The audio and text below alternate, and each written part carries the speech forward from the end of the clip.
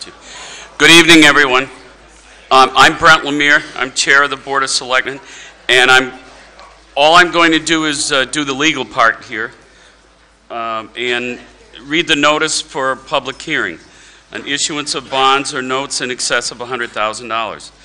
Pursuant to the provisions of the Municipal Finance Act, RSA 33, the Litchfield Board of Selectmen hereby gives notice that it will hold a public hearing on January 11, 2018, at the Campbell High School Auditorium, 1 Highlander Court, Litchfield, New Hampshire, to discuss the proposed issuance of a bond or note that will exceed $100,000. Said hearing will commence immediately following the Budget Committee Town School Budget hearings, scheduled to start at 7 o'clock p.m. The proposed bond or note is for constructing and equipping a new fire station building and all related activities necessary for said construction, and to borrow in the name of the municipality by issuance of serial notes or bonds, a sum not to exceed $5,500,000. Residents wishing to speak on this matter are invited to attend, and I welcome you here tonight. And we're going to have a presentation. I'm going to turn it over to the fire chief, uh, Chief Freitzel.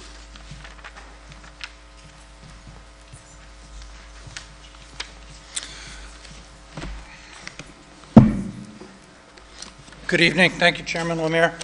Uh, What I'd like to do tonight is uh, go through a presentation. Uh, On the stage with us this evening uh, are obviously members of the Board of Selectmen, uh, members of the uh, construction management firm that's been retained by the town, Eckman Construction, and I'll I'll invite Preston Hunter up shortly to introduce his staff, as well as Jonathan Howley from Warren Street Architects, who has been the the architect uh, of record for uh, uh, well over 10 years, almost uh, close to two decades, on the fire station project. So they have, uh, Jonathan has considerable history with uh, this project as it's been proposed over the years.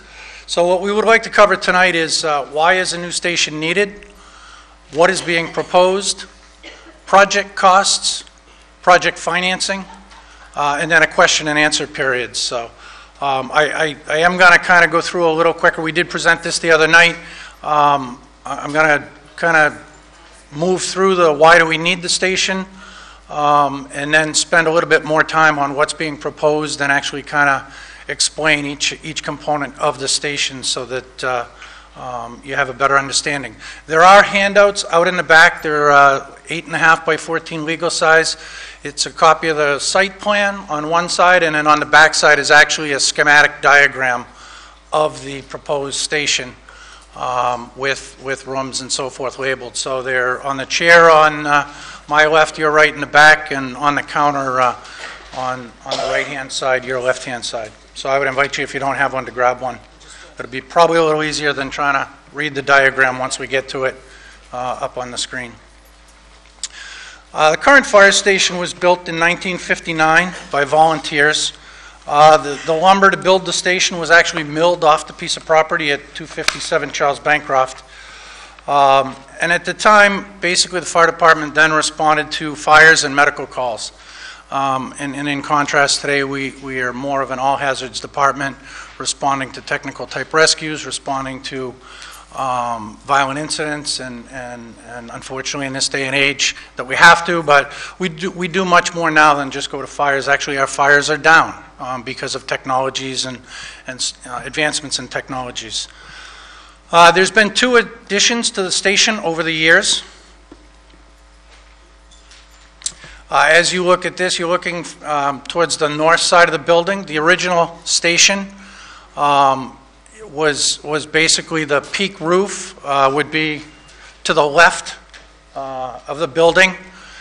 The second addition, um, on the picture on the right, the second addition ended just about behind that one, um, uh, between those two trucks.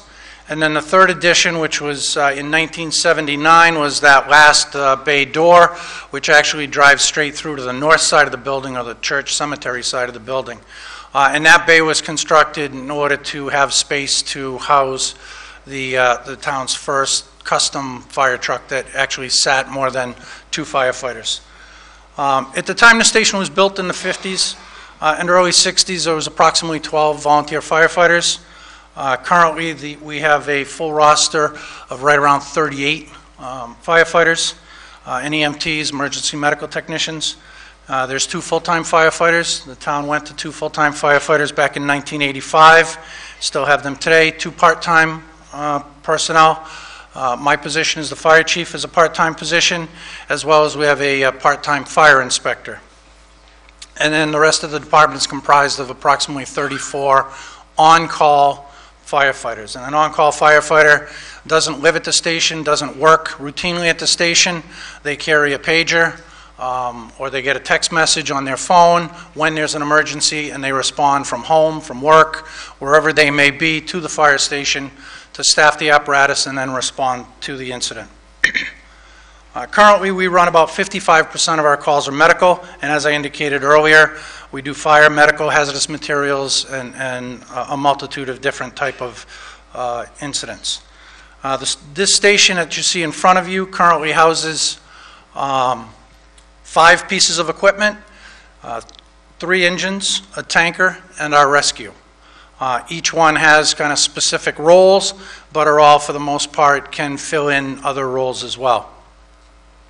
We additionally have uh, eight pieces of equipment that sit outside, most of it at the fire station. However, during the wintertime, we do move some back to the, um, we moved some, excuse me, up to the highway garage just so that it's not in the way for plowing.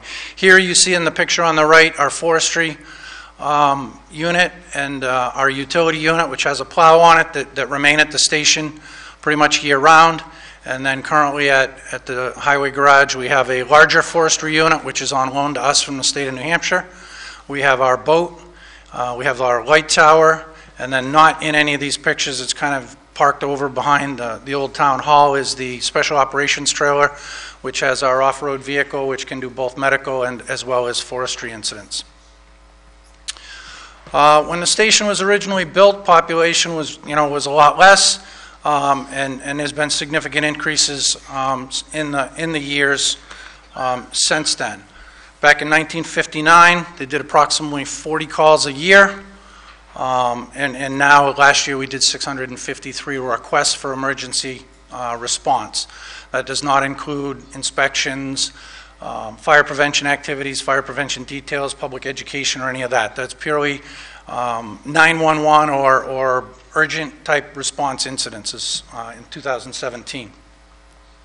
We've also seen a tremendous growth in, in the school uh, students. Obviously, the school, good school district draws additional students, uh, and that was actually one of the reasons the town went to full-time coverage in 1985, was uh, because of the growth in the schools and, and to have staff available during the day while the students are in school. We've also added some schools. Um, Since then, uh, uh, obviously, as a- with growth of the schools, we've, um, our, our, um, well, we protect grows, um, and I'm actually going to, Deputy Nichol looked up, what was the total? So currently, and kind of a, a little bit of an interesting and almost staggering fact, but the deputy did the research, $840 million is what we, uh, in town assessed value is what we protect with a, with a on-call fire department, which is pretty impressive, I must say. And we have a very active on-call fire department, um, which, which is not um, entirely common. I know a lot of my colleagues in and around the state um, struggle to retain and, and recruit call and volunteer firefighters. So we're fortunate. We, we haven't really had that issue. We've always maintained our roster, so. As I indicated earlier, back in the um, 50s and early 60s, there were approximately 40 calls or 40 emergencies a year, and uh, in 2017, we did 653, so pretty significant growth over the years, all out of the same building. The current fire station, while built, um, when it was built back in the 50s, um, and and I don't go back that far, and I'm not going to claim to, so, um, was really where the growth or where the, where the uh, population was on Charles Bancroft Highway. Um, The, the, the more eastern, central, and eastern parts of town really weren't as grown up as they are today. Uh, The, the picture on the slide kind of shows the, the pockets or neighborhoods of, of growth since then, which really are, are, are at a distance from the current station. Um, and while we can, we can hit everything on Charles Bancroft in a reasonable amount of time, our goal is to be on, have the apparatus from, from the time of leaving the station to the time on scene, somewhere in the four to six minute range. Um, And that's, that's a little challenge now. Um, Nashua Regional Planning did um, the, the maps that you see for us and, and based it on the average speed, speed limits, distance, and so forth. Uh, And the shadings all indicate minutes uh, by each minute, one, two, three, and so on, out to, I think it's nine minutes, um, what our response would be from the current station, and then we'll get into one um, shortly that'll show you from the proposed station, which is proposed on Liberty Way, right next to Town Hall. Um, I would indicate, as I mentioned, it's a little hard to see up here, but if you go to the website that's been created, litchfieldfirestation.com, uh, you can click on the map on the page and it'll blow it right up. You can zoom into where your home is, look at the, the shade of the color, look at the legend, and be able to tell what our current response time is and what our proposed response time would be. Uh, Back in late 2015, um, the Board of Selectmen commissioned uh, a feasibility study of the current fire station to look at um, its, its capabilities as, as it relates to the current um, operation of the fire department, to look at its compliance with current codes, life safety codes, building codes, structural codes, and, and um, ADA compliance. Um, Jonathan Howie from Warren Street uh, and his firm um, handled that, and I'm going to turn it over to Jonathan in a few minutes to speak to that. Um, But I had a couple more slides I want to go through before we do that. Uh, I mentioned earlier, we have equipment that's parked outside. This, this kind of gives you a representative idea of what sits outside year-round. The picture on the right is the forestry vehicle that is currently at Highway. Uh, And you may say we don't use the forestry vehicles during the winter because of the snow. We actually do, because they're all-wheel drive vehicles. We do use them during the winter. We'll use them to go out and, and respond to a wires down call or a tree across the road so that we're not tying up a larger, uh, more valuable piece of equipment, uh, as well as these vehicles are all-wheel drive and they tend to get around a lot better in the snow uh, than our, than our uh, typical size fire apparatus, which are not all-wheel drive. Uh, Existing, actually, I'm going to turn it over to you now, John, for existing conditions and so forth.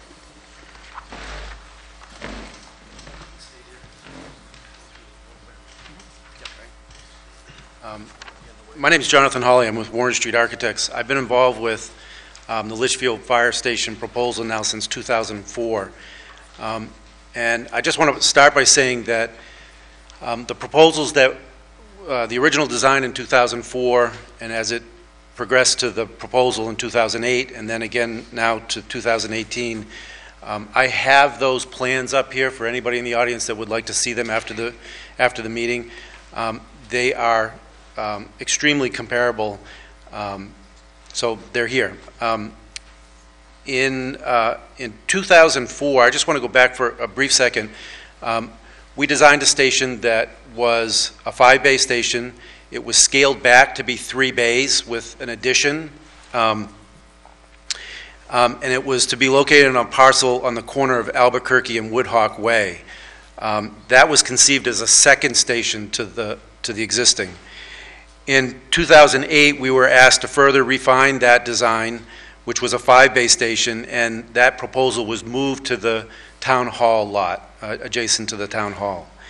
Um, In all of the warrant articles since 2008, the building has remained, um, it's a 5B wood construction, it has a concrete block garage bays, asphalt shingle roof, vinyl siding, um, with with very simple, modest interiors.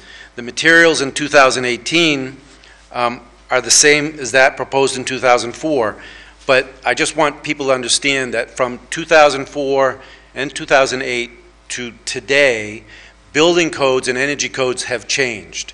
So the, the, the, the the envelope of the building, if you will, that was proposed um, more than, uh, well, back to 2004, we could not build today. So there are advances that have been made that are documented in these drawings that increase the energy efficiency and the tightness of the envelope of the building. The mechanical and electrical systems are much higher efficiency. Um, So there are improvements um, that have been made to that, to that design that was originally conceived back in 2004. In 2016, we were asked to do this existing conditions feasibility study.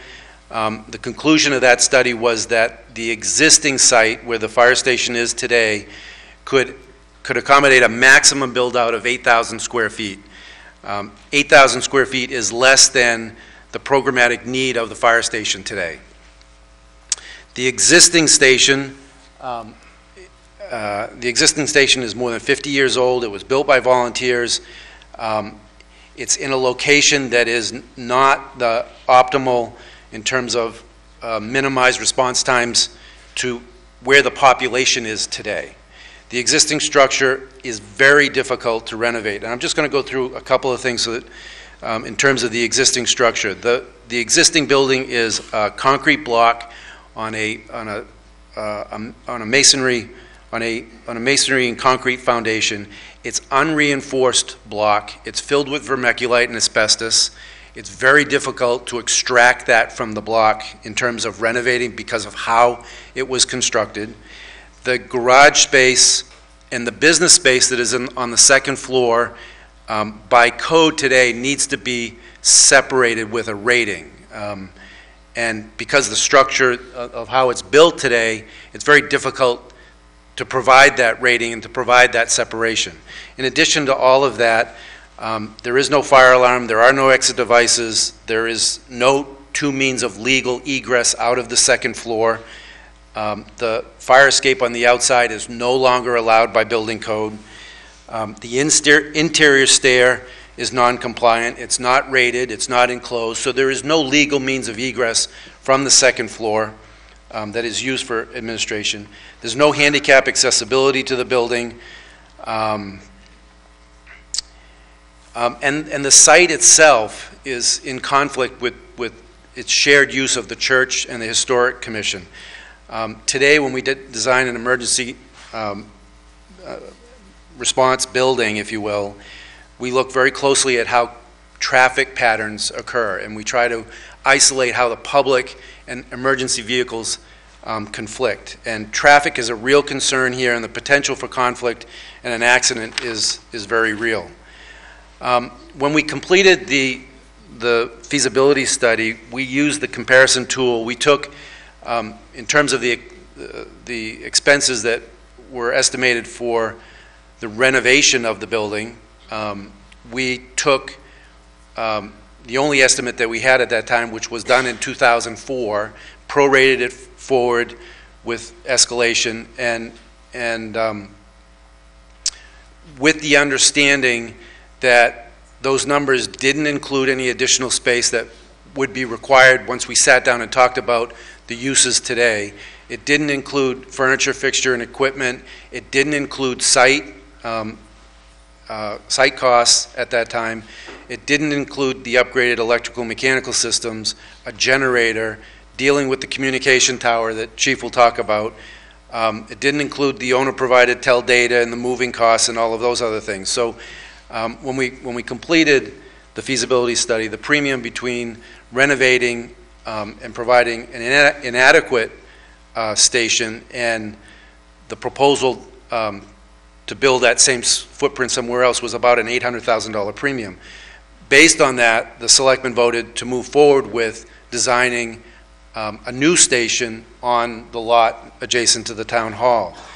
Um, So what we did is we took the 2004 design, um, which is essentially the same as the 2008, being five bays, um, and we applied today's standards to it. Um, One of the things that we did right off the bat is between 2008 and and today, the standards in firefighting, um, the firefighters' gear is no longer stored in the apparatus bays, and it comes back with carcinogens and things that need to be vented directly to the outside. So that the standard today is to provide a separate room off to the side where gear is stored, not in the apparatus bays, is separately vented to the outside.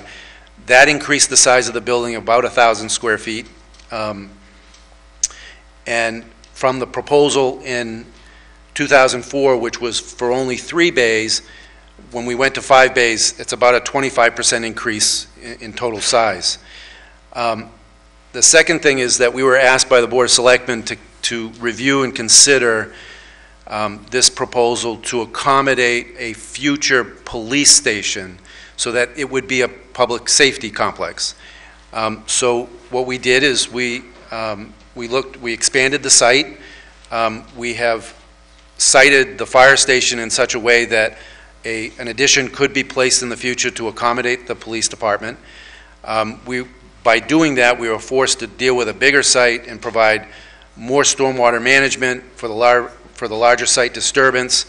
Um, We've provided conduit from the fire station to the police station to the town hall, so there's connectivity.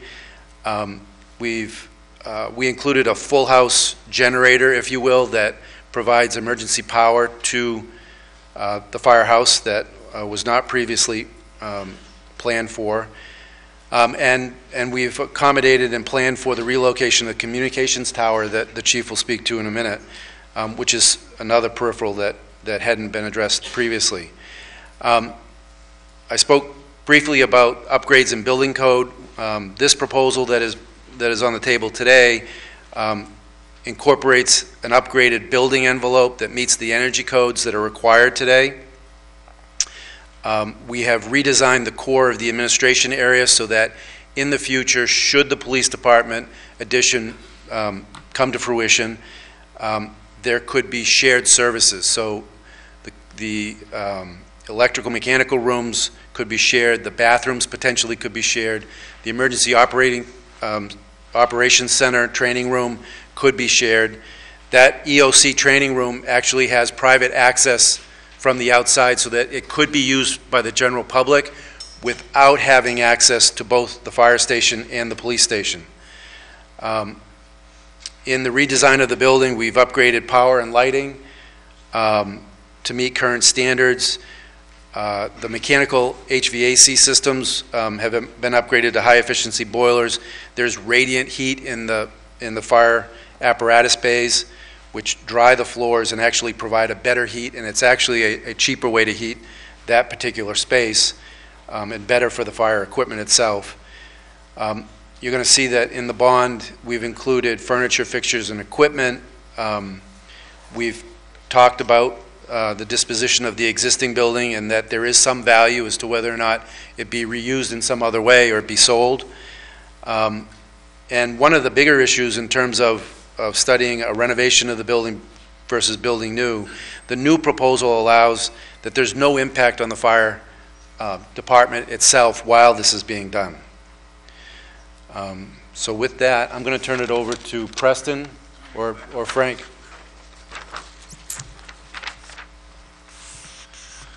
Thank you, John. I'm going to go through a few more. So you've kind of heard the, the building uh, limitations and so forth. What I'd like to cover now is kind of the operational side of um, the challenges we have. Um, As you can see, there's, there's direct access um, to the building. There's, there's, you know, as trucks are pulling out, people could be coming in, and it's very tight quarters, uh, as you can see here. Uh, On the outside, on the north and south side of the building, uh, We actually can't open the doors to the fire apparatus all the way because there's not enough room between the truck and the wall. Um, And and while it may look fairly easy for that firefighter to get in dressed in their street clothes, when you add about 40 pounds of gear to them and bulk them up a little bit, it makes that a little bit of a uh, a tight squeeze to get in. Uh, You can see gear hanging in the middle picture, gear hanging along the wall. Uh, Somebody could be bent over putting gear on as that truck starts moving because they're out of view of the, of the operator uh, in their blind spot on the mirror. Um, So these are some of the operational challenges. Um, As, as John mentioned, it's a shared lot. This is, uh, you know, some of the challenges we face. The, the church is very good to work with, and, and I'll uh, get into that even more in a second. But it depends on what's going on at the church. If there's a large funeral or, or something else going on, it, it can make it a challenge to struggle for the approximately 40 parking spots that are there. Um, This is actually uh, a fairly recent picture. It was after a significant fire, um, early, well, last winter now at this point, just about a year ago. Um, It was, uh, the hose is sitting there um, uh, basically thawing out. The ladder that's on the floor had to be brought back fully extended because it froze in, in position. Um, And all this has to go back on the truck, and you can see from the picture here that um, that's an average-sized firefighter laying on the top of the truck, and they barely have enough room to squeeze under the ceiling. There's no way to reload this hose in the building. So after a fire in two-degree weather with 20 to 30 mile an hour winds, and a wind chill well below zero, all this hose had to be put back on the truck outside in the dark, uh, in the middle of the night. Uh, Really not a safe thing for our firefighters. They're cold, they're tired, they're wet, uh, and, and that's when accidents, you know, tend to happen, and, and we really don't want that for our people. Um, Some of the structural concerns John referenced earlier, um, this bottom picture, um, right up,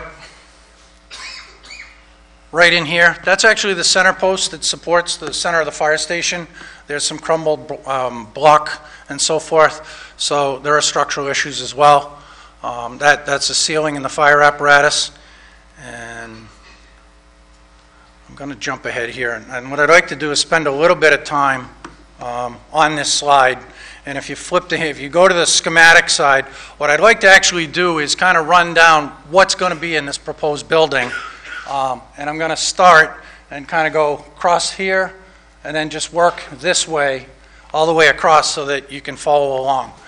Um, So from, from the top left side of the slide, um, are three, are two offices and a conference room, deputy fire chief, conference room in between that and the fire chief's office, and then just under that is a hallway that connects everything.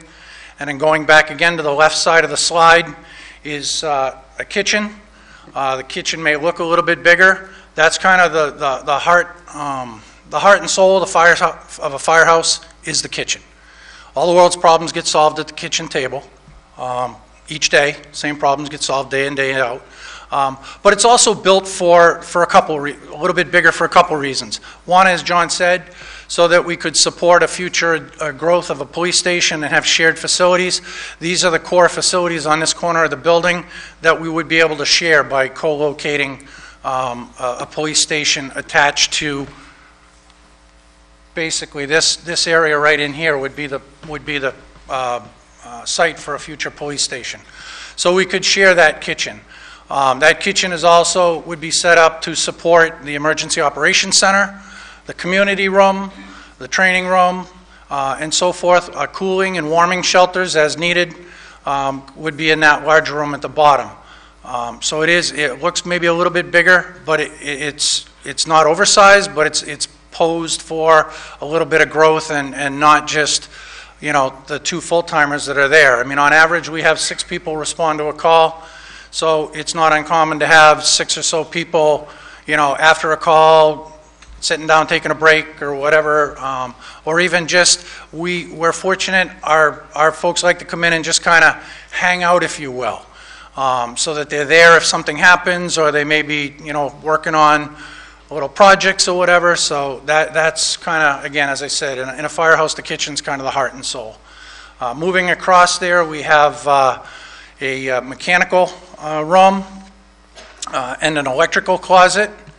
And then again, continuing horizontally across, uh, EMS office, EMS room, Um, no different than a doctor's office. We fall under HIPAA requirements for confidentiality, patient information, security, and so forth.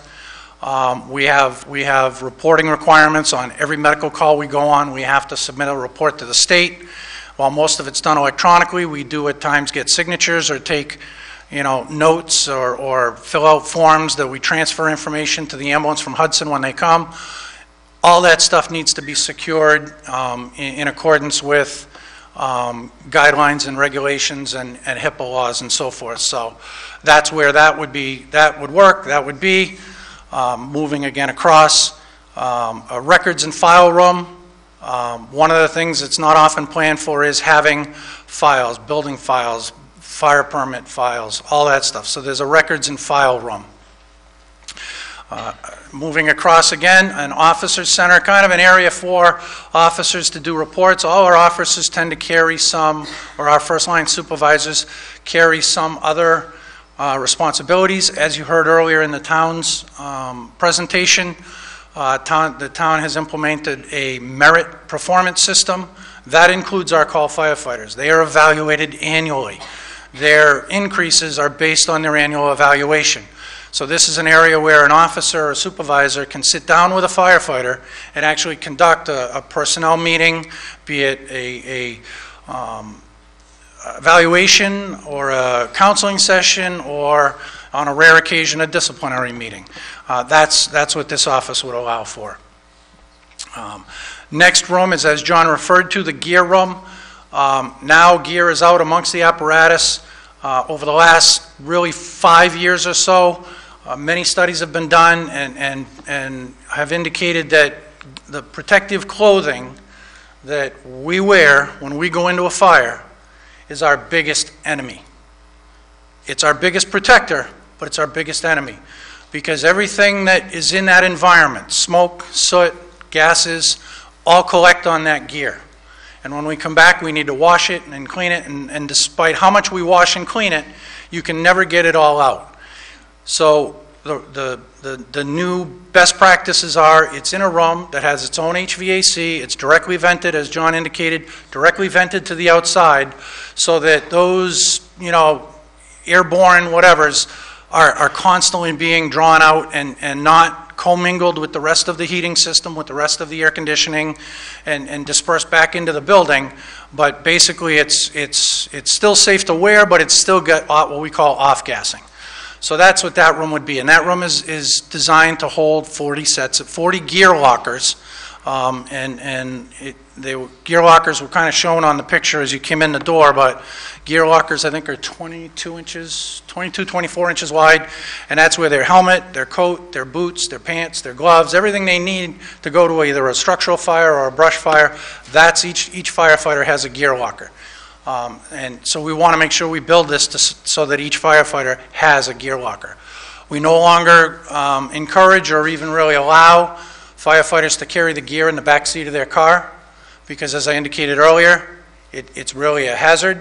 That's the same back seat that tomorrow morning they're gonna go put their, their son or daughter into to take them to school. So we discourage that. Gear needs to stay at the station. We actually decon our personnel with, with a hose line, gross decon them before we even bring them back to the station now, so we minimize the impact on the trucks. That's how serious we've taken, seriously we've taken this based on the studies that have been done nationwide. Um, And we're not alone. Every other department is moving to this as well, so.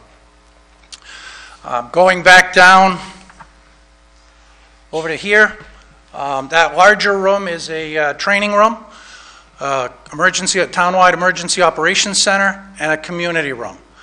Uh, As John indicated, it- it's, uh, the way it's designed, the Boy Scouts, the Girl Scouts, the um, the Lions Club, the senior center, senior citizens, whoever could come meet. It's independent from the fire station, so it's not a, there's no, not an issue with somebody having to be there to let them in. Um, It's designed to have electronic locking so that if, if the, um, the, the the Boy Scouts are meeting at 7 o'clock on a night, the doors can un- un- automatically unlock at quarter of 7 and relock at 10 o'clock so that there's really nobody, there's, there's a bathroom attached to it so that there's no issue, there's a bathroom, and then access to the kitchen if it's needed can be, can be uh, accommodated. Uh, This room will seat 40 with tables and chairs, so in a, for a training type setup, or approximately 80 if it's just chairs for a setup similar to- to what we're, we're in right now. Um, Smaller rooms off those are um, a uh, a storage room to store training equipment or store the tables if we're doing chairs only up here, and then a janitor's closet that actually opens into the hallway that traverses the building laterally. Moving to the right, I mentioned there's a lobby foyer area. That's the main entrance of the station, which is right down here. And again, this is the Albuquerque Ave of, um, side of the building. There's a bathroom, which is, is basically in the unsecured part of the building, open to the public, open to whoever's using the community room. Um, And then there is uh, a storage area for photocopier, paper, office supplies, that type of stuff, small area. An IT closet for all the, uh, the um, technology and computer um, stuff. Um, Moving across, men's and women's room um, with both, um, obviously toilets and so forth, but a shower, sink, and then the space to have a small 12-inch by 12-inch or 14 by 14-inch locker for each firefighter, so that they can keep a change of clothes and some toiletries, so that if they get that dirty, they can shower before they get in their car and go home, and take whatever they got into home to their, to their family. So, um, again, a proactive step towards the, the direction the fire service has gone uh, over the last 20 years, but more, more specifically, the last five years. Uh, Moving across, going towards the bays, a medical equipment storage room. Um, We store um, replacement disposable, consumable medical equipment for, for calls we go on that need to be restocked on the truck. We store medications, um, that, that to restock a truck, most of our stuff comes from the hospital, or we exchange with the ambulance, but we do have some medications. Um, This is a clean environment, I won't say sterile, but um, compared to the kitchen cabinets that all that stuff is in right now upstairs, this is a much more sterile environment. Uh, But it's also secured, so we can track who goes in and out. Uh, Our rescue carries narcotics, so we fall under federal DEA guidelines for the storage and security of narcotics. So if we have to take the truck and, and send it out for service, we have to have an area we can secure the narcotics, and only those that are licensed to utilize them have access to them. So that would be that, that would be um, this room and contained within this room. And we actually have to have two, two locking methods. Can't be, just be one lock on narcotics, has to be a minimum of two. And it has to be trackable, so it has to be electronic or, or, or other methods. Uh, And we currently do it now on the apparatus. Uh, But we have nowhere, if we have to take the truck out, um, we have to come up with a way to either return it to the pharmacy or the paramedic has to literally hold on to it while that truck's out of service, which is not a good thing either, either, excuse me. And then the last room before we get to the bays is a, it's labeled drying. That's where the protective clothing um, dryer would go. The washer I'll get to in a second. Uh, But we have a a washer dryer, a washer extractor, so it's a special piece of equipment. Looks like, it looks like a conventional laundromat, commercial washer, but it is actually designed specifically for firefighting, firefighter protective clothing to wash and extract and so forth. That's not something, we, we just purchased that within the last two years. That's not something that was part of the original plan. Um, That's a rather large machine and, and needs space, needs drainage and, and, and power. Um, The drying, um, that, so we'd have a washroom, a dry room, and then across the hall, kind of systematically, across the hall, back into the gear storage area. Um, Right below the drying area is the washroom, and again, the drying room would also have a, a typical residential dryer for stuff that is not, con- not contaminated. Uniforms that may get dirty because of working around the station, blankets, towels, stuff like that. So we actually have two different washing systems, but one is for contaminated and one is for non-contaminated. So there's also a bathroom and decon area. If we have an incident, somebody, I guess, let me go back and say, this kind of area right here, if you will, is kind of like the, the the demilitarized zone in that fire pr- uh, protective clothing does not go into this part of the building whatsoever, under any circumstances. This is the clean part of the building. So that's why this is all set up right off the base. Get off the truck, get into the, get into the decon area, get the gear off, get the gear clean. If you need actually to, to, to take a shower right there because you're that dirty or contaminated, there is a shower there to, to handle that. Um, gear goes into the washer, you get a quick shower, then you, you know, you kind of run into the other shower and get a true shower, get your change of clothes and so forth. Um, Right below that is uh, an SCBA workroom, our protective clothing, self-contained breathing apparatus. Um, We can't be working on that on the same bench, we just tuned the chainsaw up. Uh, We have, we have a, a a clean area to work on that. You'll see kind of like three small three small boxes, that's a three-bay sink. Because the way, the recommended way to clean is a pre-rinse, a soap wash, and a rinse. Kind of like doing dishes in a, in a, in a restaurant. There's a procedure for washing our masks and so forth. Uh, Also in that room is our, our, what we call a cascade system, but all the bottles we use to refill the individual air bottles, as well as the compressor that refills them, as well as the compressor that will provide basic air to the power tools and apparatus out on the apparatus bay.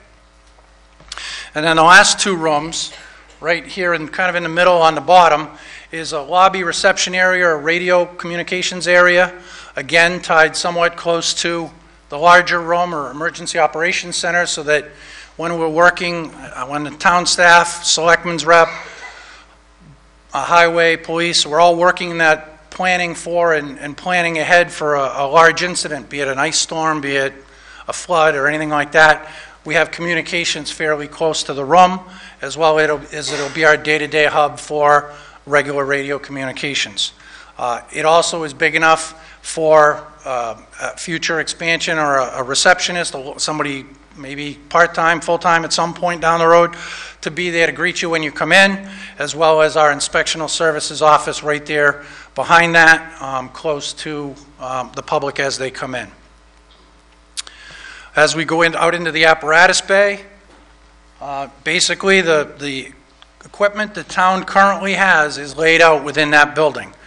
Um, The, the more primary, more equipment used day-to-day being closer to the, to the administrative side of the building, and then kind of spreading out as we go. But you can see every single um, bay in that station has a piece of equipment that the town currently owns. None of that equipment is proposed for the future. Um, So the question may be, if the town, at some point down the road, opts to get its own ambulance, where do we put it? We would put it where the rescue is, because right now, the rescue goes to every medical call, because we don't have an ambulance. If the town were to, were at some point to decide they want to run an ambulance, then we would no longer need the rescue, and it could go right in the rescue's bay. So there is space when the town chooses, and I'm not advocating that that's coming. Um, With, with the way things work right now, I have no, as the fire chief, I have no intention to propose bringing an ambulance on board in, in the foreseeable future. We've got a very good arrangement and financial deal with the town of Hudson to provide the service. Um, And, and when we get into, we couldn't, we couldn't do it for what we're paying for right now, even close. We'd spend a lot of money to run our own ambulance. Um, All our people, with the exception of maybe a half a dozen, are medically trained, so that rescue rolls out, they're all EMTs, advanced EMTs, or even paramedics on that truck. And that truck is carrying, pretty much, the rescue is carrying all the same equipment that's on the ambulance coming out of Hudson, with the exception of the ability to transport to a hospital and maybe an IV pump, but um, you're not going to use that in a first response um, environment anyway, and the ambulance has it when it gets there, so. Um, I I guess I'll hold questions till later. Um, Elevations of the new station, so front, back, and, and sides. And then uh, project costs, I will turn it over to uh, Preston Hunter from uh, Eckman Construction, and I take it at this point, he'll introduce the team that has put this program together. Thank you, Chief. Anyone else feel like they just got a PhD in fire station design? That was, that was a terrific walkthrough of the floor plan. Um, Again, my name is Preston Hunter. I'm a Vice President at Eckman Construction. We are a general contractor based out of Bedford, and uh, we are, as was mentioned earlier, acting as the construction manager for this project. Uh, Just a quick moment on what a construction manager is and how we are connected with the project. Um, we were uh, brought on board through a competitive process. The town went out to a number of construction management firms in October, and uh, we were hired to work with the town to develop the cost estimate. That's the basis for the construction portion of the project. After the project passes, Eckman will be responsible for competitively bidding all aspects of the project to qualified subcontractors. Those bids will be received and reviewed with town officials, selections will be made, and then Eckman will be responsible for overseeing and supervising all of the construction portion of the project to ensure that everything is completed in accordance with the plans and specifications. So, uh, a little background on what we've done since we were hired in October. Um, In late November, uh, we received a complete set of documents from Warren Street Architects. This was issued for pricing. Uh, This was a 66-page document set, which Jonathan has here as well, uh, including site design, architectural design, mechanical, electrical, plumbing, and it looks like I forgot structural, but structural was also part of that set. Um, We spent the next four weeks, roughly four weeks, pricing those documents. Uh, The first thing that we did was go through all of the plans, basically doing a coordination review. If there were any questions or any conflicts within the design, uh, our estimators contacted Warren Street Architects, asked a myriad of questions. Um, Jonathan said that we kept him pretty busy uh, with answering questions at the Budget Committee meeting on Tuesday, and that's really to ensure that we understand exactly what the design intent is. So when we went out to over 30 qualified subcontractors and suppliers to assist us with developing the costs for all of the different components of the building, we could answer their questions and ensure that the prices that we developed accurately reflected what was on the plans. Um, In addition to receiving input from uh, subcontractors and suppliers, we also use current pricing that uh, we have from other projects that are currently ongoing or recently bid, uh, and applied those costs to the products and materials and the quantities that are shown on the plans. Um, When this process was completed in, in late December, we met with the town administrator and the fire chief to review uh, the scope and the pricing uh, to ensure that anything that was required for the project but was excluded from our costs were included on the owner's budget, also called the soft costs. These are typical items such as furniture, fixtures, equipment, um, communications uh, towers, and, uh, and there there are many other items that also are included in that. So the, the goal there are to, to ensure that uh, all of the costs are accounted for and nothing is counted for more than once. So this process resulted in a, in a summary here, and we'll provide more information on the next slide, uh, that break down the construction side of these costs. Uh, The building construction came to $4 million. The site work construction was 789,500. And the project soft costs, or the owner's costs, uh, were just under 680,000. And that brings our, uh, the total project uh, value to 5,469,000, uh, which I understand was uh, rounded to 5.5 for the purposes of the warrant article. So at this point, I'd like to invite John Reel, our chief estimator, to come up and join me. LinkedIn told me just yesterday that John is celebrating 30 years at Eckman, uh, and um, that qualifies him to come up and answer all of your hard questions. Uh, So I'll turn it over to you. Uh, Thank you. Um, I just run through, as Preston said, I'm the chief estimator with Eckman Construction. I've been doing this for 30 years. I think this is our eighth or ninth um, safety sort of complex, whether it be police stations, ambulance facilities, uh, fire facilities. So I'm very familiar with, with pricing these sort of projects. So as he said, we took the set of documents that we had, we analyzed them, sent them out to get some subcontractor response, and price some of the stuff just based upon history. So I'll be, I'll briefly run down through what, what's involved in each of the items. Uh, General conditions, um, that's basically the personnel that will be on the site running the project or in the office, whether it be project managers, superintendents, assistants, layout personnel, and that sort of stuff. Uh, General requirements, those are what we use on a daily basis in the job site to build the project. For instance, temporary electric, uh, temporary water services, trailers, those sorts of things. Uh, Site work and landscaping, we actually had a, uh, a local uh, subcontractor that we do a fair amount of work with, put, help us put the budget together on that. That really involves, that's your building excavation, your pavement areas, sidewalks, landscaping and fencing, and those sort of things go into that number. Um, Really, the thought was that this whole thing was a two-phase project, so the drawing, I think there's a drawing, is there a drawing that we can? Yep. Oh, yeah. So really what you see is basically it's a pretty simplified um, site project. Um, Paving takes a huge amount of the areas. The darker green areas Those are uh, drainage, drainage uh, areas where basically you can't, um, when you do a site any longer, you can't just let the water run off the site. You have to contain it within the site and treat it. So that means that you have a lot of structures on site to be able to accommodate that, to treat the water and then slowly release it.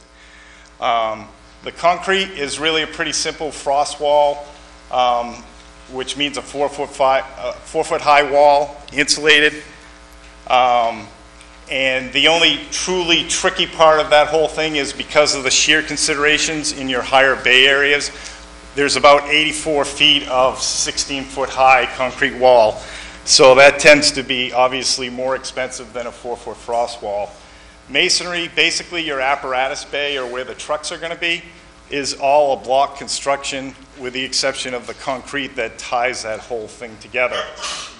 Um, Metals is basically bollards and angles around the doors and that sort of stuff that really create a more durable and also protect your structure from trucks possibly backing into areas. And having steel around the jambs protects that from happening also.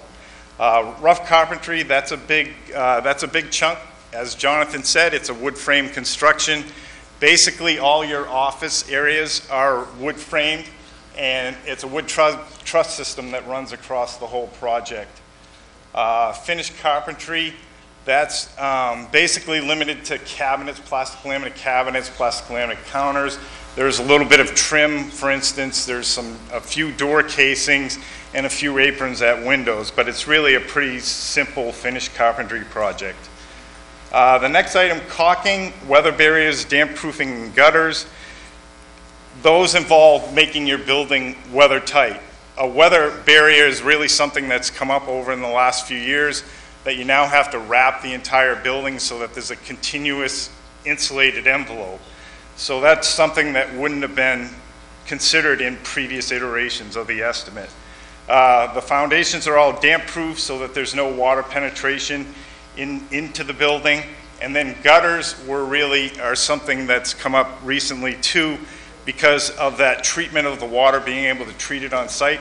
When it comes off the roof areas, you have to be able to direct it to your structures so that it isn't running off the site. So that's another thing that's, um, that's critical. Um, Insulation, really, it's insulated, the building's insulated to current codes, to meet current codes. Uh, Roofing is just an asphalt shingle roof. Um, Siding, it's all vinyl sided. Um, For the most part, there's two types of siding. There's a vertical siding and there's a shake siding.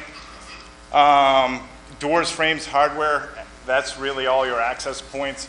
It's a commercial type of steel frame with hardboard painted doors. So it's, uh, it's a pretty fundamentally um, simple sort of door construction. Uh, Electronic hardware is, uh, or excuse me, I skipped over the overhead doors. They're 10 bay doors that are 14 by 16 feet. These doors are a little unique in that they don't open vertically. They slide open or more in accordion fashion. They're supposed to be the most energy efficient door on the market, and they're also supposed to um, be quicker in closing and opening because we have radiant heat in the floor. The quicker that the door is open and closed, the less heat you lose. So that's really why they were considered in this um, process. Um, Electronic hardware, that's really a security factor that's come in the last few years because of what's happening in public buildings. It's really to control access in the lobby so that people can't just randomly uh, walk through the station. Um, Aluminum glass, that's really a couple of just entries into the building. Uh, The drywall is obviously all the office spaces, because they're wood frame, they're going to have drywall um, at the ceilings and at the walls. Um, There are areas that have acoustical ceilings, which are basically the panelized systems that you see in schools and a lot of public buildings. The flooring was very simple. It's VCT and some um, carpet tile in office spaces. There's nothing really extravagant as far as that goes. Uh, Paint is paint. Basically, the outside was all clad in vinyl, so the only paint you're going to have is interior of the building. So painting of drywall surfaces, exposed metal surfaces, exposed block surfaces, that are interior to the building. Uh, Specialties, lockers, signage, and equipment are all really division types, almost furnishing type of things where we're providing lockers for the gear room. Um, Signage is obviously just so that you can get around the building, things are identified. There's also a site sign that's on the project, the building lettering on the building from the outside so that it's identifiable when you're pulling up to it. Um, Fire protection, plumbing, and HVAC, electrical, and generator are all MEP items, which they're basically your systems that control the air. As we said, the building in the bays is primarily heated through a radiant slab, which means tubes are heated with water, and they run through the slab to heat it, to keep the heat down low, rather than in a higher area where it's going to have a tendency to rise up. The rest of the building is really a simple fin tube system that's no different than you would find in most houses. Um, Electrically, we're obviously all into LED lighting now, and there's a generator so that all the services can run if, if there's a power outage. The contingency and fee, anytime you're involved with a construction management project, because you're not necessarily aware of everything that's involved with the project, like for instance, if you run into an unsuitable material below grade that you'll have to deal with, that's what a contingency offers you the ability to cover those sort of things rather than having to reach out for additional funds. Our fee, we all know what our fee is, and then we carried a 2018 escalation. The market right now in construction is crazy. I mean, that's one of the reasons we didn't put this out to bid at this stage, is because subcontractors are so busy.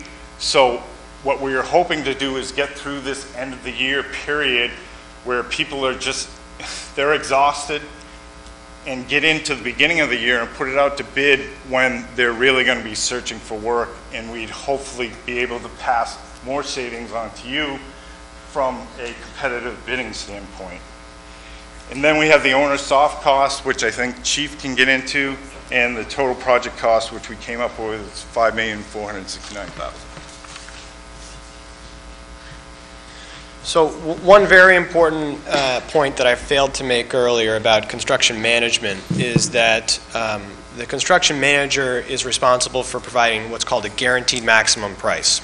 Uh, So the, the cost figures that total to the four, I guess I have it right in front of me here, roughly 4.8 million, um, which is, would be um, the contract with the construction manager, is a guaranteed maximum price. So if we don't need to use that 200,000 in contingency, that money goes 100% back to the town, and the town can choose to do what they want with it. Um, So that gives you the benefit of knowing that you have some additional insurance built into this number, but also the benefit of knowing that, well, the- the the risk is on the construction manager, frankly, and you benefit um, by any savings.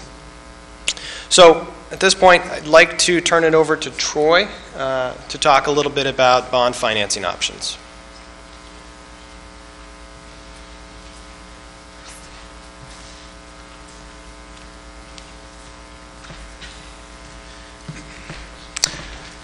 Okay, so if this project is approved by the voters, uh, unfortunately, we don't have $5.5 million laying around the general fund. We don't have any capital reserves that we can finance the project through. So we've been in contact with the New Hampshire Municipal Bond Bank, uh, working with them on, as you see behind me, uh, several different types of ways to finance this through the traditional bonding um, method. There is two different ways that you can bond, set up your bond. Uh, Level principal, level principal would be that the principal is the same for the life of the, of the note. Uh, Interest payments are higher um, at the start, they decrease over the life of the, of the note. Um, So essentially, the first year of payment for a level principal bond is the highest. Each year it decreases over time. Uh, Level debt is exactly that. The bond uh, repayment terms are structured so it's a- almost the same payment each year uh, for the life of the bond. Towns and schools use both methods um, of financing, really what works best for the community. Um, So for example, a lot of towns like to use the level principal because they'll take on that payment the initial year. They know that every year, their debt payment's going to decrease by a certain dollar amount, $25,000, $30,000 a year. So eventually, um, as the town has other capital projects, either school or town-related, there is some growth there in the budget um, to take on that new debt or new capital projects, and at the same time, really trying to provide some stability to the tax rate. The level debt is another tool that's used, and towns like to know that it's going to be a certain dollar amount um, every year for the life of the note, and they can plan their capital um, projects uh, around that fixed payment. The Board of Selectmen has not yet determined uh, what uh, the term of the note will be and what type of financing we would choose to go with. We just received the estimates right around Christmas, so we're still um, looking at the possibility, you know, the different um, um, proposals.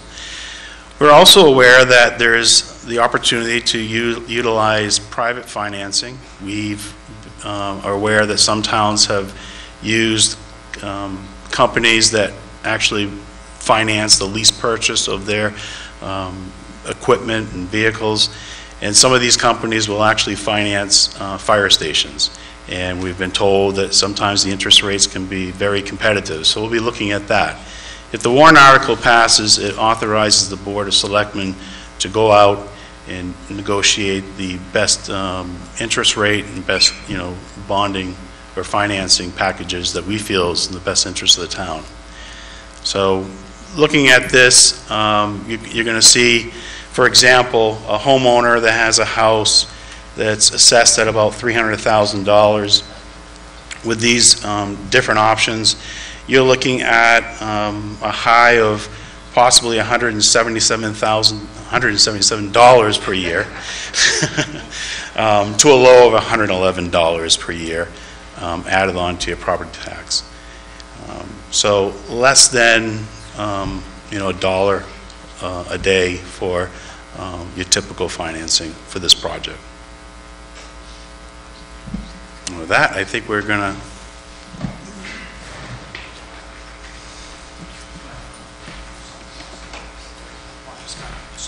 We really didn't cover. So what I want to do before we actually get to the question and answer is uh, go back to the, we- we talked about everything but that $600,000 soft cost. And some of the, some of the costs that are involved there are moving our radio and our communication system. Everything right now is at, is at the fire station on, on Charles Bancroft. And it- when we move, uh, and it's off the antenna on the roof, and when we move, obviously, we need to move that communications equipment with us. So about approximately 150,000 of that 679 is just to build the tower, the foundation, the tower, the antennas, and all the stuff to, to support moving the equipment we have. Then there's the moving the equipment costs, there's um, cost, uh, within that is also furniture and fixtures. Right now, um, the only desk in the firehouse is mine. Everybody else works off kitchen counter type um, configurations. Uh, file cabinets, trash cans, um, that, that type of stuff, that's up to the town to supply. Um, So those figures are in there. And again, they're estimates um, and, and um, based on other projects that, that have, have been done and, uh, you know, and, and, and numbers that are used as a basic to furnish a typical office, uh, an amount of money type uh, figures. There's also money in there to move the uh, uh, diesel exhaust system that we installed in the current fire station uh, a little over, I guess, two years ago now. That system was, was designed, it was spec'd in order to be moved. It was actually a little bit overbuilt at the time, so that when we do move it, um, it can handle the additional equipment. Um, However, it can't go from the current five trucks to 10 trucks um, without some kind of increase in pipe and, and and so forth. So there's money in there to, to move the current Plymovent or exhaust system, as well as expand it as needed for um, the, for the new facility. Uh, There's money to move equipment. While we can certainly um, move most of the stuff and and so forth, as I mentioned earlier, the washer extractor, the, the large uh, SCBA compressor, and the associated bottles and cascade system that go with it, really need to be moved by um, properly trained, or or riggers, if you will, that are trained to move large pieces of, and heavy pieces of equipment like that. It's not something you go to U-Haul, grab a dolly, throw on a dolly, and muscle into the back of a pickup. It's just too big and too heavy. Um, That, those costs are in there. Um, Also in there is, the, the project cost provides for um, boxes and, and the the piping and so forth for the cabling and the um, IT needs, but it doesn't necessarily provide for all of the IT components that we would be, we would be utilizing. Obviously, we have phones current, we have phones at the fire station, but we need to add a few phones, given the, the increase in size. Those are the things that are in that. The other thing that's, that's in that is uh, an alerting system.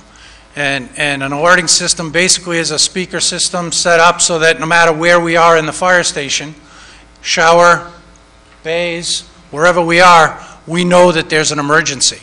Um, So it's basically like a- an intercom system that's purely dedicated to um, alerting us that there's an incident going on, eh, both audibly and visually. So tho- those costs are not part of the actual construction, they're part of our, uh, what are referred to as our soft costs. Um, We certainly intend to uh, go after grants, however, there are unfortunately no grants, state, federal, or otherwise, to build or, or equip, uh, build really fire stations. There is some funding out there through Homeland Security grants to help cover the cost of the generator, that, the backup generator that will, will power the building in, the- in the event of an outage.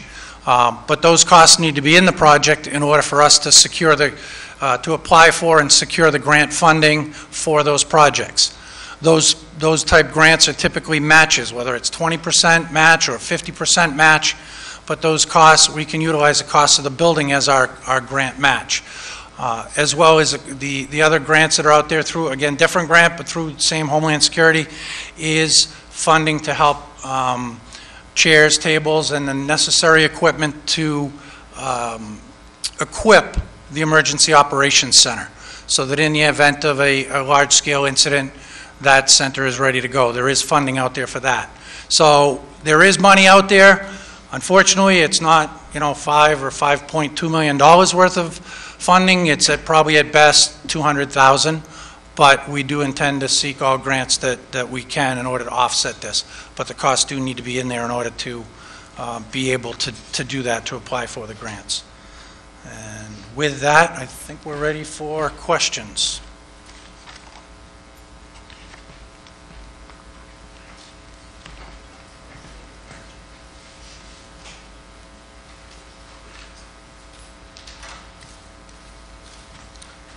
How you doing?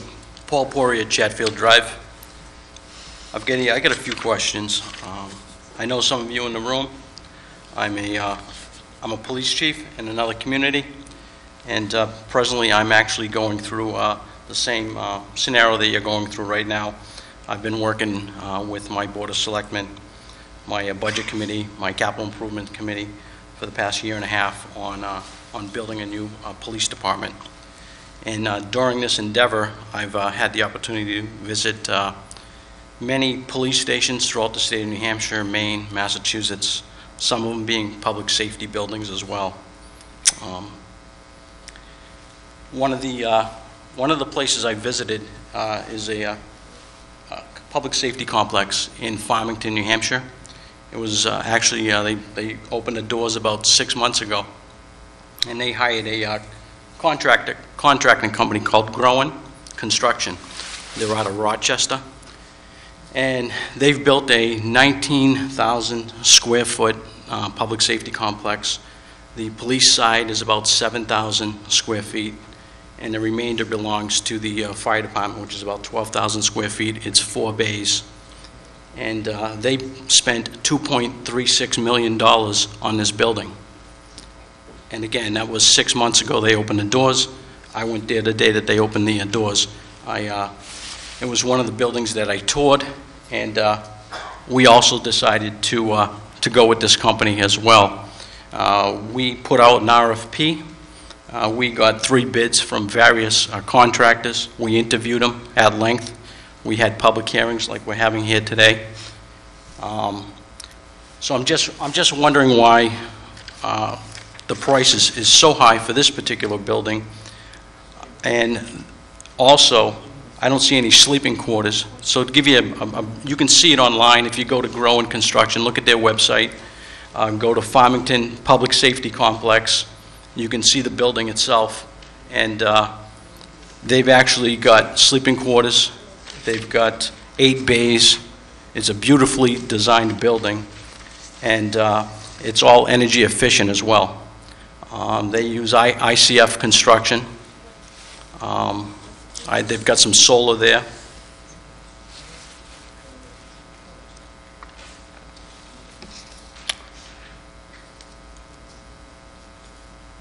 So I guess one of my questions is, are you going to put out an RFP on this, this, this proposed fire department? The, I I- think as far as the actual cost, they will be bid once the project is approved. I'm I'm not, as far as the town, what the town did was Warren Street had the projects. The the Board of Selectmen utilized the existing plans, as as Jonathan indicated earlier. Uh, We did put out uh, an RF RFP, correct, John, for, for, an RFP for the construction managers. We received six uh, construction management companies that expressed interest.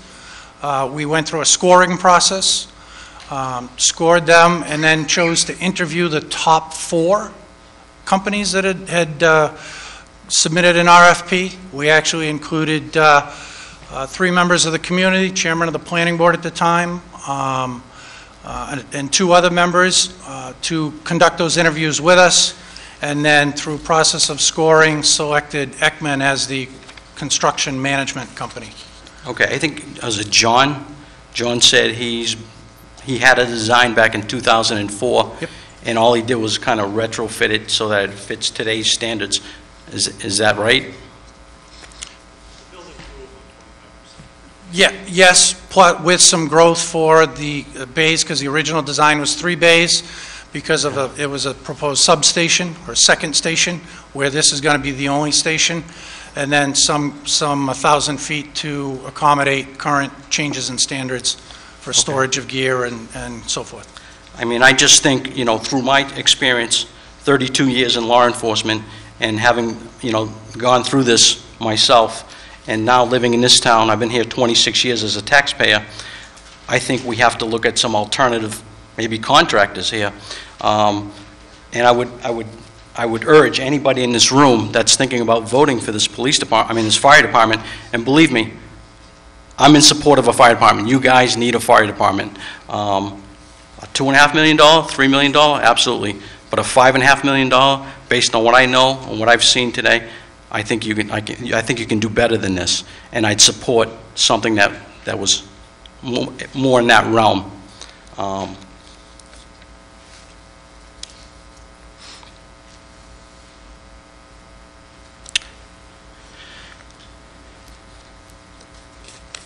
Another thing I want to look at, so I, I, I don't really want to uh, You're you're the fire chief, you know what's best for- for the fire department.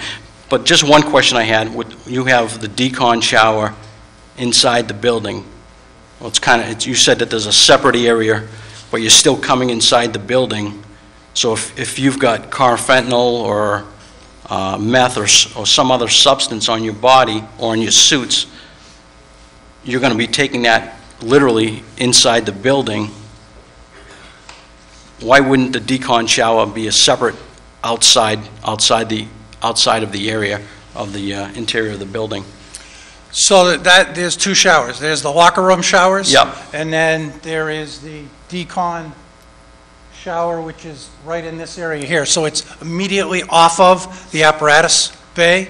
So it's not getting, whatever that individual may have on them is not going into the clean area or clean administrative area.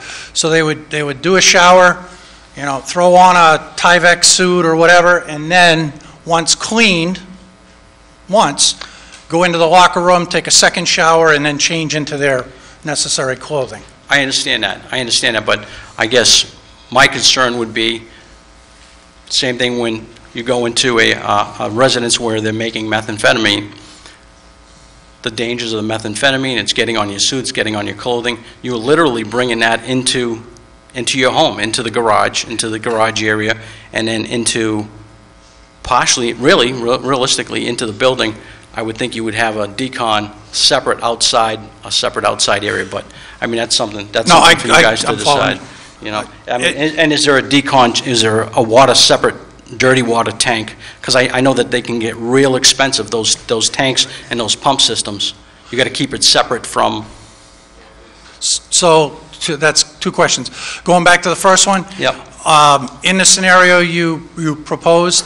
Decon would actually be done before we ever left the incident.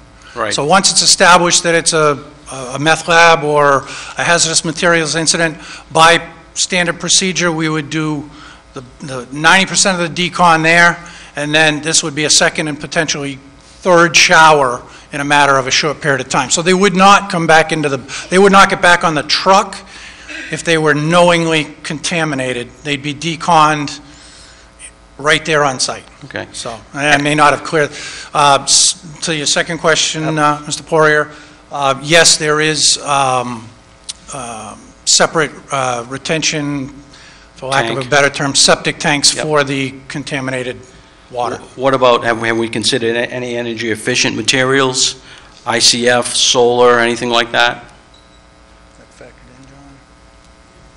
building is not ICF. Okay, There is, there is, uh, the structure is planned, the roof is planned to accommodate solar. That conversation's not been had with the town in terms of purchase or lease that system. But the envelope of the building and the systems of the building, uh, in my opinion, if you'll take it for that, is designed, it could be certified as a, as a LEED building. Our buildings are all baseline energy efficient, so, uh, you know, I could go through the different elements, but okay. I I guess, um, one last thing. I know that there's been, there's been some talk about adding an addition to this and uh, having some spare room. That way, if we move the police department out of the, uh, um, where it's at now with Town Hall, if, if you look at the plan for the Farmington Police Department, and this company growing, uh, built the Pelham Police Department, they built the Portsmouth Police Department, uh, I mean, not police department, fire departments, excuse me, the fire department in Pelham and the fire department in Portsmouth. Um, And they recently built the Farmington. So if you look at theirs, uh, there's, that facility is 19,000 square feet, houses police, fire, ambulance. Um, It's, it's two stories, it's got an upstairs sleeping quarters for both fire and police, they share it with the police department as well. Again, it's $2.36 million. The only thing that I ask as a, as a taxpayer is that the select board, the fire, fire chief, and, and I- and I'm sure you can call the fire chief over there, they love showing off the building, go take a look at it. Uh, You can put something like that here in town, I'd be absolutely more will, more than willing to vote for it. Thank you.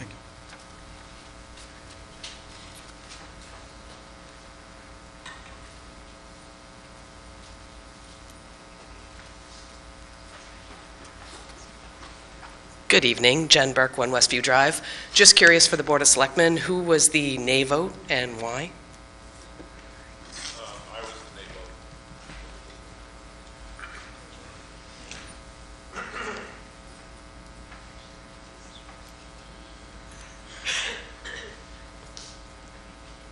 Pretend you go to a car dealership and you have your mind set on buying a $30,000 car. And you like it, you love it, they're going to deliver it. You go to the financing table and all of a sudden they tell you, nope, that $30,000 car is 55,000 now. We were told all the way up until December 29th that this was going to be about a $3 million building. Um, December 29th, I got a, I, I got an email or text message that explained that, oh, it's going to be 5.5 million. I would love to get it back down to 3 million. That's why I voted against it. I don't think that we can afford a 5.5 million dollar building. And people will ask me, why do you think that, or, or or what would you cut? Well, I'm not an expert. That's their job. They need to learn or try to figure out how to cut a couple million dollars out of the price. So that's why I voted against it. Thank you. You're welcome.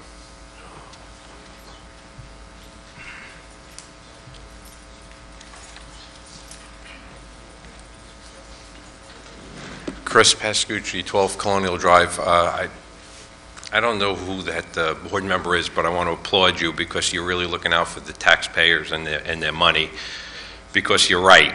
Uh, If you do just, if I did the basic math properly, it's over $430 a square foot. If you take out the soft costs and the- some furniture and fixtures, it's $380 a square foot. Anybody in construction, real estate, property management, just a gut feeling says that's a lot of money. It is a lot of money. Um, But there is also another issue um, that I want to, it was asked by, uh, earlier, and it hasn't been answered yet. What is the reason why um, the other building would remain standing and not be knocked down as part of this deal, being that we've heard for many years as the uh, rationale for this is the building is in such poor shape, the parking lot is horrible, the drainage is horrible, it needs tons of maintenance. We've just heard there's asbestos in there. Uh, There's support beams that are, that are in bad shape. Nothing about the building is good. It was built by volunteers, and there's been a lot of additions. But yet, um, the selectmen are going to allow it to remain standing and not be knocked down. What's the reason for that? I will let the selectman answer. Chris, there has been no uh, decision made on that building yet. Um, We're taking input. As a matter of fact, that we're meeting with other uh, town officials um, as we speak on an ongoing basis, the chair of the budget committee, the superintendent of schools, and to see if, if there was a feasible use for the building before we were to make a decision just to level it. I don't disagree with you uh, personally, Um, but I think that will be something that we'll be talking about very soon. Um, If it is the will of the, um, the body to uh, level that building, it certainly makes sense, then, uh, instead of putting money into a building that does not meet code or anything. Um, I think it's something the board will seriously listen to. Um, But that will be um, decided shortly. So as Mr. Lambert brought up earlier, there are people talking about that, and Right. um, it it is a very large issue.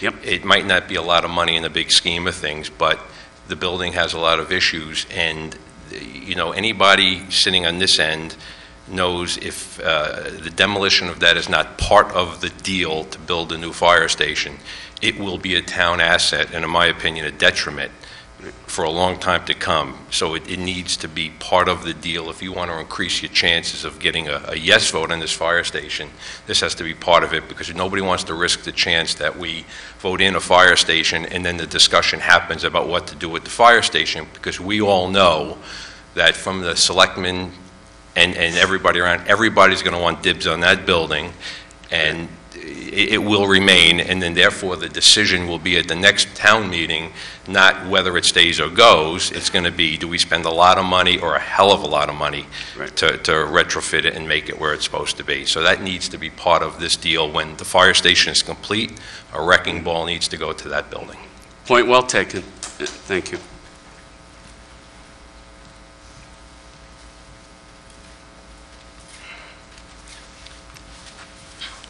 I'm, uh, I'm not really sure what the bone of contention is with tearing down the fire department that's, that's there now. How many, I guess, apparatus can we fit in there now?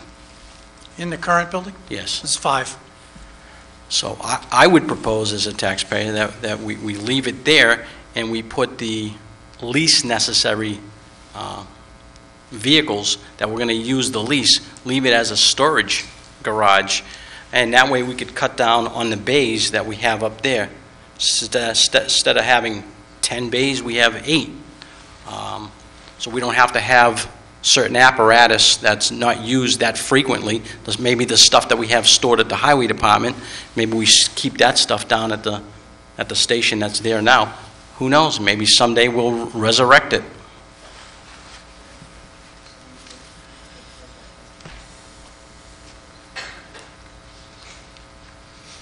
George Lambert, 3 Lidston Lane.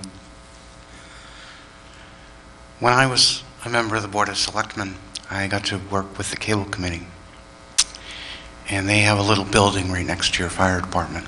And I don't know if things have changed, but they have a lovely studio on the second floor. Fantastic asset we spent a bunch of money on that we can't use. because we hadn't actually worked out all the details, and so it wasn't in compliance.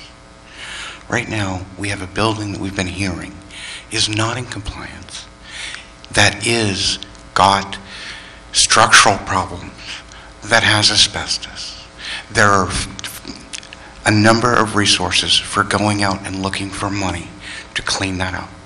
We should be sitting there and focusing on getting a new fire station and making sure that we don't have that tax liability and that potential liability to this community.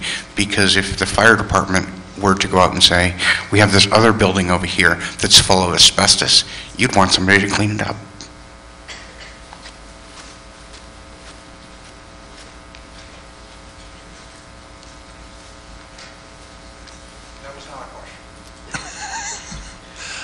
Any other questions? And actually, Mr. Lambert made a good point. The uh, cable building was where we actually have conducted our training for the past several years. Uh, That was just turned completely into a studio, uh, at which point we lost our, our only indoor training, classroom-type training. Uh, The church has been very gracious next door and allowed us use of their, uh, the basement of the church for the three nights a month that we do our indoor training, so that we actually don't have a spot in the current station we can bring everybody in to do training. We have to find an outside uh, location. So, Sir? Hi, I'm Mark Vandendijk on Moose Hollow Road. I heard you talking about some of the uh, office space used there, and you mentioned counseling firefighters positively and hopefully not negatively. Um, Could you go over some of the office space in there? I I mean, I'd- there's a multi-purpose room, there's some smaller offices. I just, I mean, explain how some of this is not redundant, and maybe you don't need as many spaces to do as much as you need. I mean, a special room for counseling people, I I don't know if I heard that right. Um, So, so that room would be for completing report, incident reports after an incident, that it would be, oh, I apologize for stepping. This, this ar- this area right here that, that's labeled officers' corner, officers' center, thank you. Um, That would basically be where um, incident reporting gets completed, um, payroll and stuff like that gets completed during or after each incident. Uh, It also could be used for a very small meeting. Uh, It would be shared by upwards of five people. Not at every, not all at once, but utilized very similar to the way we use our, um, our upstairs right now. Okay, thank you.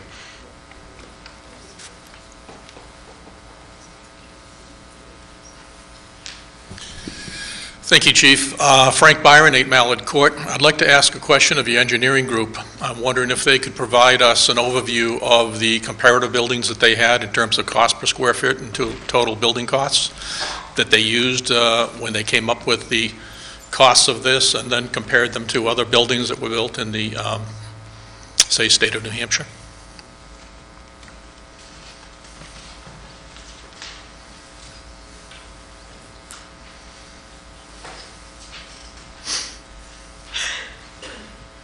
Not sure if I qualify as the engineering group, but we were the construction manager. I think that was That'll do. Yeah, so um, the first thing I'll say is that it is very difficult to to compare cost per square foot from one fire station to another. Um, There are a lot of factors that contribute. Site work is almost always completely different from one site to another. Um, The systems, as you saw from the chief, there's a lot of technical components that go into these stations. I can't speak to what a station in Farmington has in a design any more than a station in Londonderry that's being proposed. These aren't stations that, that we've done. Um, I'd be interested in seeing the plans and the specifications and, and the costs, and we could comment on those perhaps. Um, The other factor that influences costs dramatically, especially in the last 10 years, is the cost of construction. Um, So a project that bid even just two years ago, you you can't build for the same price today. Um, That being said, we did uh, complete a project in Milton, New Hampshire, a fire station in in Milton.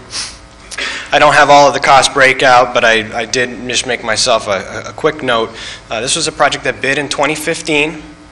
Um, It's a 9,000 square foot station, and including site, uh, building and site, it was around $280 a square foot. If you were to take a 4% escalation per year to today, that's around $315 a square foot. Um, co- To compare that to what is construction costs that have been presented tonight, uh, those are $360 a square foot. So 315, 360. You can see where variances in site, variances in mechanical systems, electrical systems, um, existing conditions, and and other functional uh, necessities that are specific to those two different departments could add plus or minus $40,000, or $40 a square foot. Um, We're also doing uh, a project in Plaistow currently. Um, Project manager from the Plaistow project is here, Matt Walsh. Um, That is an addition and renovation project. It's a uh, $8.5 million overall total project cost. Uh, It's a police station addition and a renovation of the existing public safety building. Impossible to compare cost per square foot there, right? It's, you have an existing building, we're doing, we have existing systems, we're doing, you know, renovations in some areas, in other areas not. Some areas we're keeping apparatus space, other areas we're completely reconfiguring space. And, um, and then there's another, you know, portion that's completely new. Some of the site's getting affected, some of it isn't. So I guess um, my, my word of caution in, in talking about cost per square foot figures is that they are dangerous without having all of the knowledge.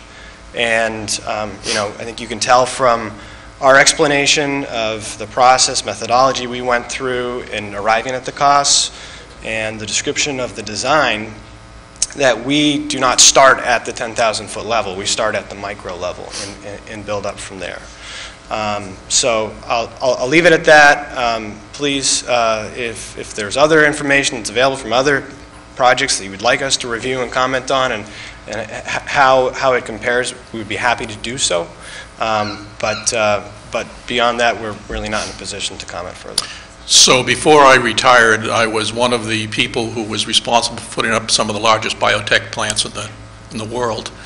And we always commonly did cost per square foot compared to other facilities, as well as comparison costs for total facilities, all of that type of stuff.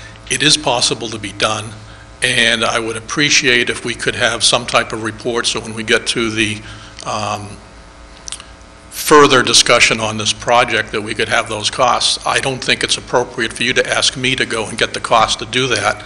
I would think that the selectmen, as well as you as the project engineers or project managers, I should say, should come forward with those costs and be able to put them up there. I do know that there's going to be caveats involved in that, and I think you could easily take and kind to smooth those out. Thank you.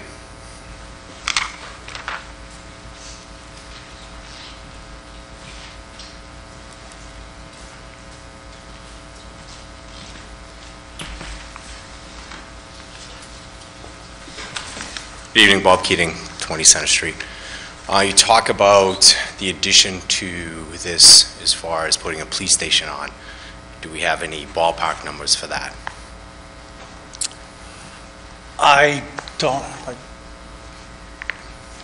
I know the police department has started to look at feasibility studies and so forth, but I, I don't know where they're at. I did, I just did a quick look. Uh, I'm also in law enforcement, 20 years uh, in the city, been through a new building, uh, we're a part of it. I think a town like this, um, splitting things up, we have an opportunity to do it right with the safety complex. You look at a place like Farmington that I was looking at at 4 AM this morning, so uh, don't ask me for the uh, particulars of that. Uh, Bo came in, 4.9 million, safety complex.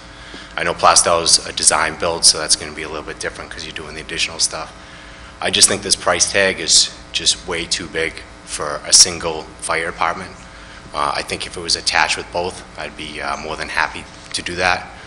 I think we have an opportunity to do it right here in town, um, because I don't see the taxpayers in town having the stomach for a $5.5 uh, million dollar bond, and then, say, another 5 million in three or four years, when we have the opportunity to do it right.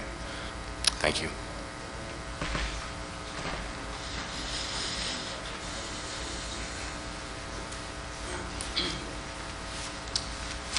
We just got a a commitment from uh, Grown Construction on a uh, 5,000 square foot uh, police facility, and it's it came out at $950,000. So you figure out the square, uh, what it costs per square foot there for a police facility, 5,000 square feet. I think it's about 275 a square foot. And uh, and- and on a side note to that, uh, the three contractors all came in between 245 and 275 per square foot.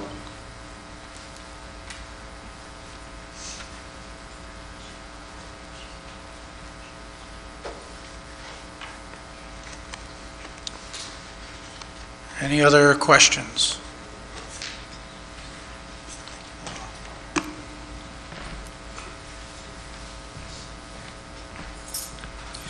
Thank you all. Hearing, um, or seeing that there's no more um, residents that wish to speak, I will close the public hearing, or the bond hearing. Uh, Thank you very much for coming, and uh, we'll see you at deliberative session.